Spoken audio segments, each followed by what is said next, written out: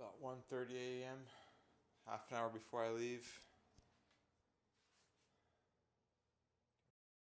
Bike to LA. Hopefully do it in around 14 hours. Get me at the expo around 4 o'clock. Assuming I do get out at 2 a.m. Didn't get to bed till 9, 9 p.m. last night, so running on too much sleep right now and long of me. The whole trip, I'm just gonna go off of these dates, dates and uh, water, and uh, uh, that's about it.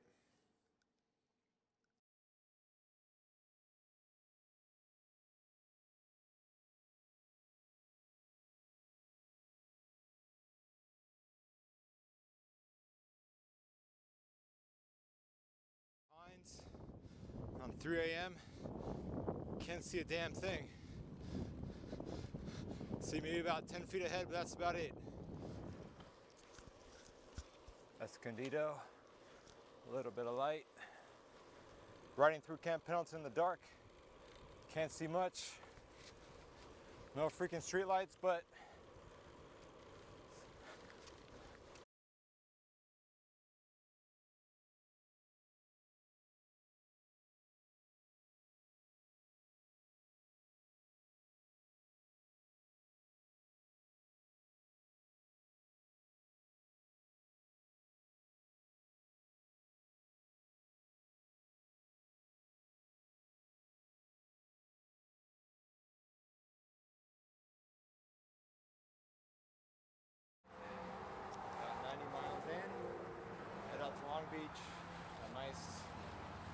boardwalk to go through. Feeling pretty good. My legs were kind of hurting pretty bad in Irvine about 20, 30 miles ago, but surprisingly, they feel really good now. Um, one of my last big stops, on the way to LA.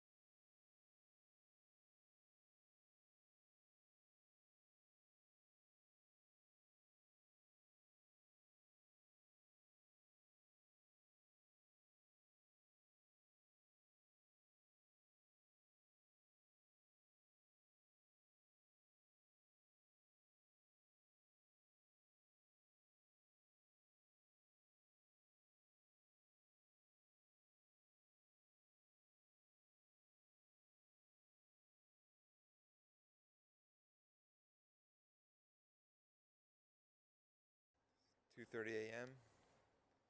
on Monday morning, heading back to San Diego.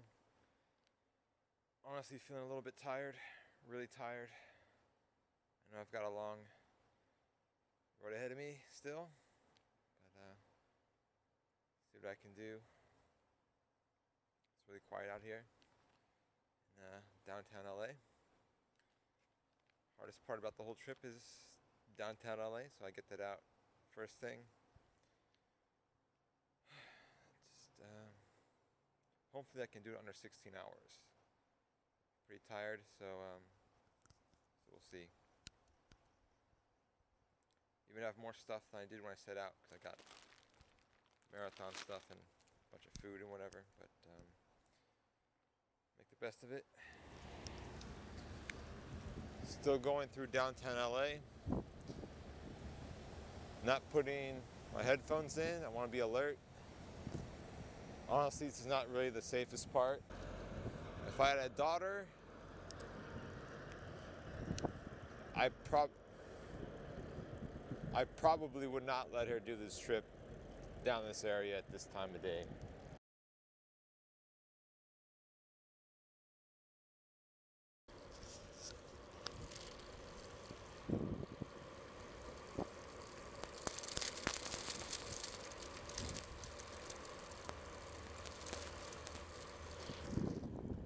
Right now it's around 4:30 a.m. On the LA River bike path, straight shot to Long Beach. There's gotta be at least a thousand birds down there in this channel. They're all chirping at the same time.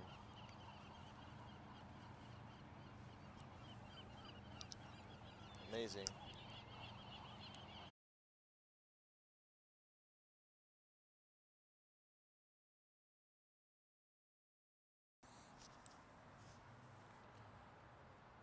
So uh, I'm here at Sunset Beach. Just got out of Long Beach and LA. Really glad to get out of there.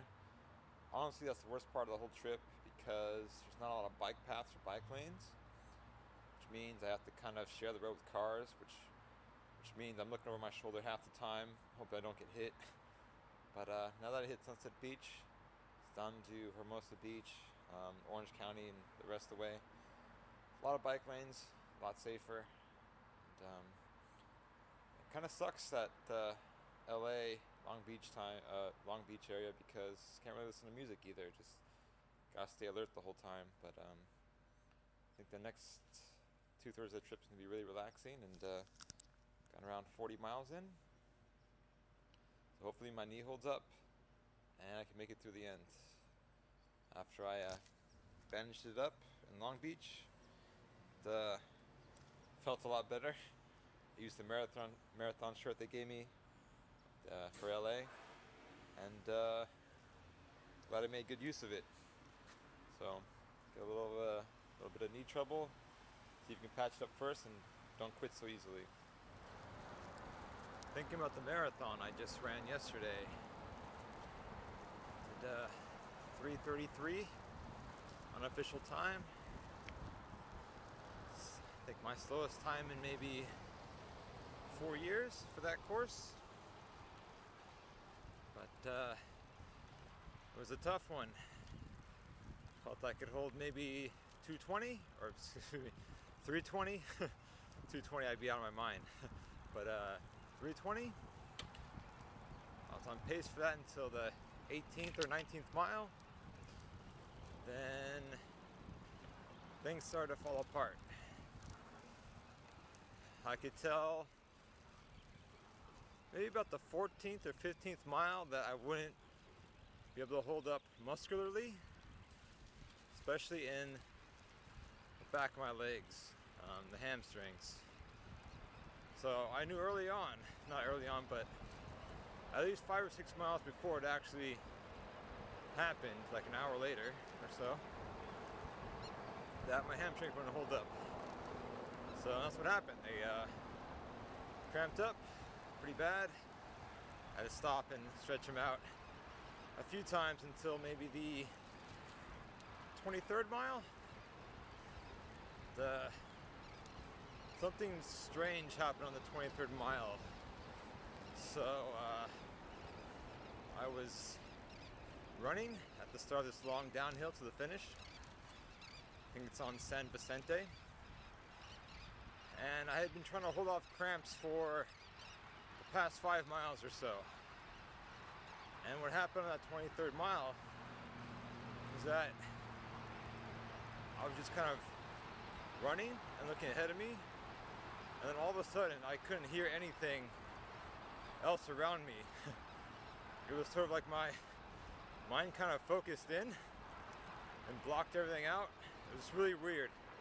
It's never happened to me before. Uh, it's like I had this tunnel vision. And I can see people on the side cheering and stuff. I just couldn't hear them.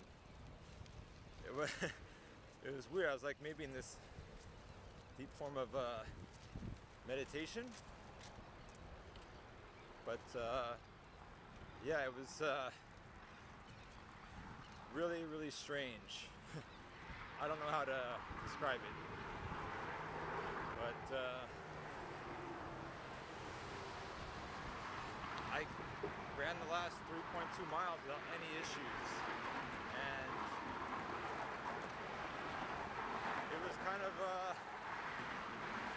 kind of a, a very pleasing moment I finished. So somehow I let my body just went on autopilot, cleared out all the other crap in my head I was thinking about. Those five miles before the 23rd mile, I was thinking, okay, I got this many miles to go, gotta have this pace. But then all that just kind of left my mind. My mind didn't really think about anything. Couldn't hear anything, really. I just focused on this one spot in front of me, maybe about half a mile, half a mile, quarter mile down, and I just got to the finish line before I knew I was done. It was so strange. The 23rd mile to the 26.2 finish. I don't really remember. I started running, and the time just went by. So strange.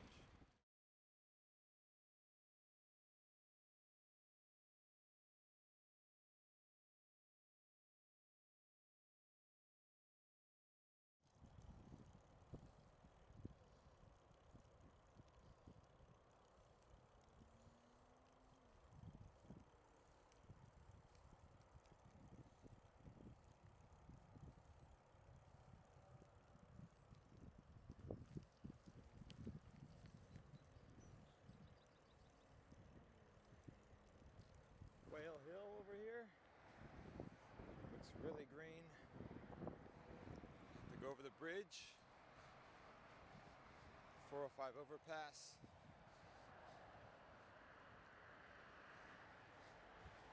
Trail's supposed to be closed, but we're on it on Saturday, no issues. Saw joggers and cyclists too.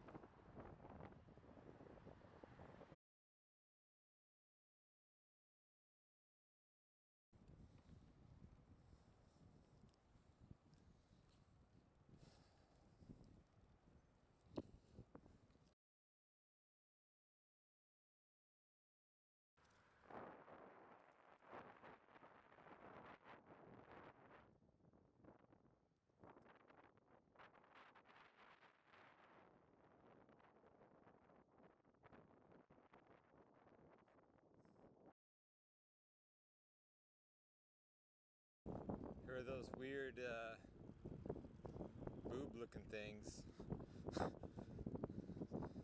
then you know you know some guy just played tongue in cheek with that because why there gotta be two of them?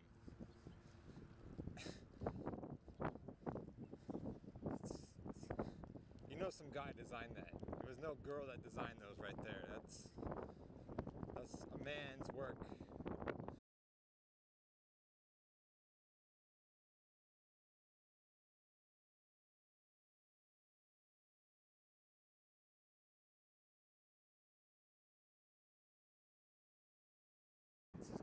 Best bike lane ever. Sectioned off.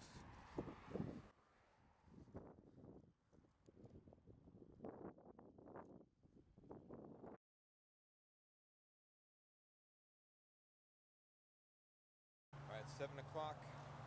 Made it to Encinitas. Encinitas. Figure I got about 20 miles left thinking uh, about 10 more miles, the biggest climb in the whole course. Torrey Pines. I'm not sure if I can climb all the way up, even on the lowest gear, but uh, give it my shot. If I have to stop, I'm gonna stop, but uh, gonna attempt to go for it.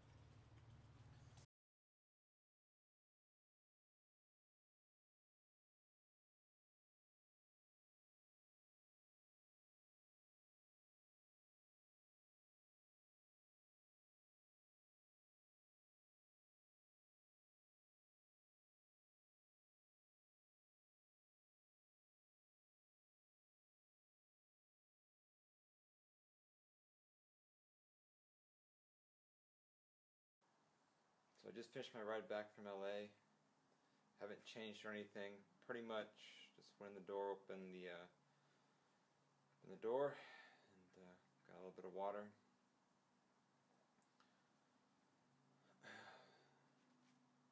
Feeling pretty damn tired.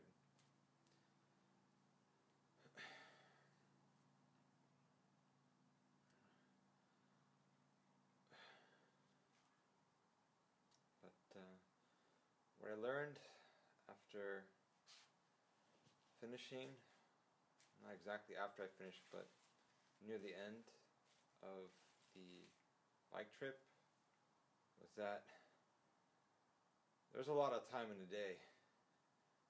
I went out at 2 a.m., 2:30 a.m.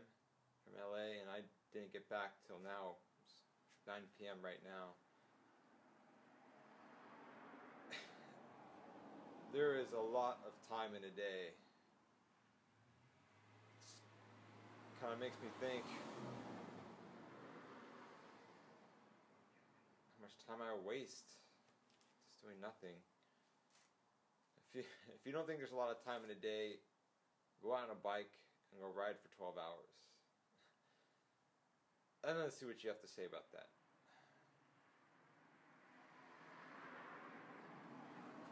I honestly didn't think I was going to be able to do it. Toughest stretch.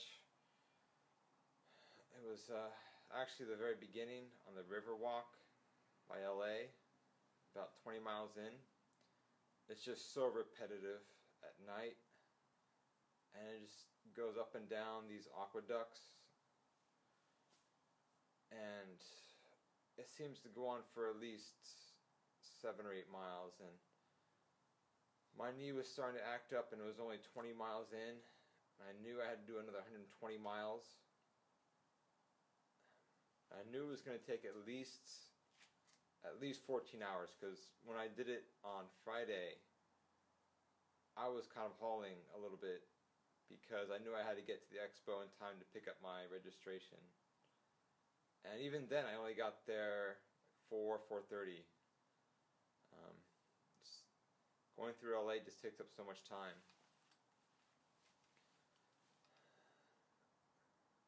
Also, around the 70th mile, I went through uh, Mission Viejo and Aliso Viejo.